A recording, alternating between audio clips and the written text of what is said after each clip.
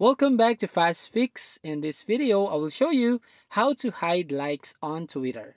If you want to find that likes on your Twitter, tap on the profile icon at the top left corner of your screen and then here tap on this profile and tap on the likes tab right here at the top and you'll find here I have one like here on Twitter. Now if you want to hide all your likes on Twitter, all you need to do is to make your account private.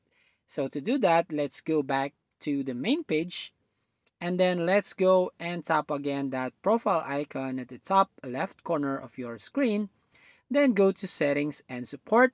Then tap on settings and privacy. Now here tap on privacy and safety and then tap on audience and tagging. And here just turn on this protect your tweets and all your likes on tweets will be hide from anyone except your followers. Now, if you want to totally hide all your tweets to everyone, you need to create an account. So to do that, here on your profile, tap on the three dots at the top left beside your profile name, and then tap on create a new account.